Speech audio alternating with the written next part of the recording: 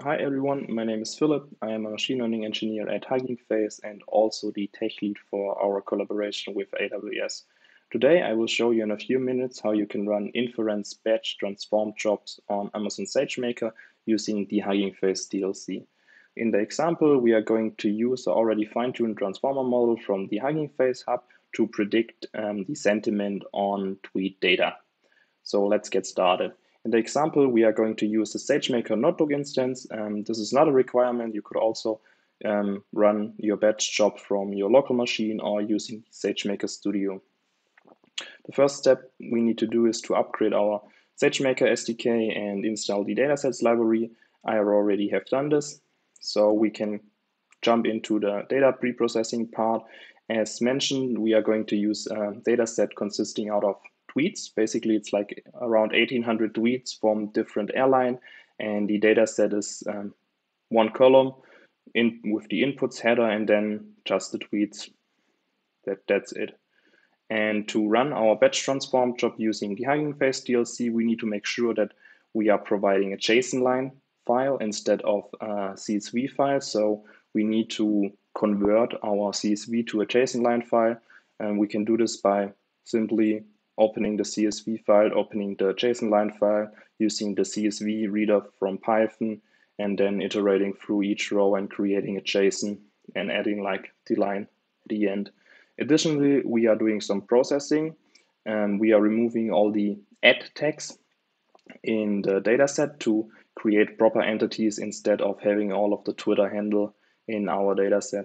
Afterwards, we are uploading our dataset to S3 since when you use SageMaker batch transforms, you can and need to provide the inference data either as uh, S3 URI directly with the file or as a S3 directory to your SageMaker transform job.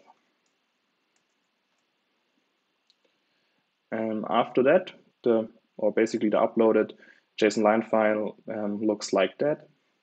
Then we can, the next step is to create a Hugging Face model it is pretty much similar to what you would do when creating a SageMaker endpoint. We create our Hugging Face model instance class since we are using uh, already fine-tuned model. We defining our hub configuration with our model ID and our task. In this case, we are using the Twitter Roberta base sentiment model, which was fine-tuned on 85 million tweets. So pretty good model, I would say. And instead of running the dot deploy method, we are running the dot transformer method, which creates our transformer class for our batch transform job. And in this, we are defining the instance types we want to use, which strategy we want to use, and where the results should be saved. After we have created our transformer, we can run the transform method, which will then start our batch transform job. And here we provide our S3 data, the content type of the dataset, and um, how we want to split a data set. So basically this um, will tell SageMaker how it should run inference. So in our example, we have a JSON line file consisting like of multiple JSON file each per row. And with the split type line, SageMaker will send each line as a separate request with um, the content type JSON to our yeah, endpoint or inference point and will then return it. So we have basically for each row one re request against our SageMaker um, batch transform. This will take now around five minutes to start and then I guess 30 seconds to run our nearly 2000 requests. Our batch transform job was successfully run. We can see here the, the output logs of our job. Firstly, our model from the hub got downloaded and when we scroll down a bit, here we can see the requests for each data point we had in our JSON line file. So as the next step, we can use again the SageMaker um, S3 utils to download our yeah, generated prediction output file from S3.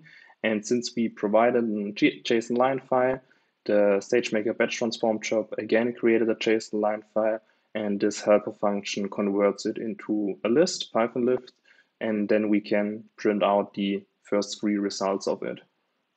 And as we can see, it worked properly.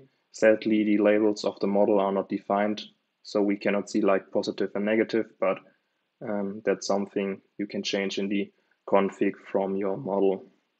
If you want to learn more about Hugging Face on Amazon SageMaker, we have a nice detailed documentation at huggingface.co slash doc slash SageMaker.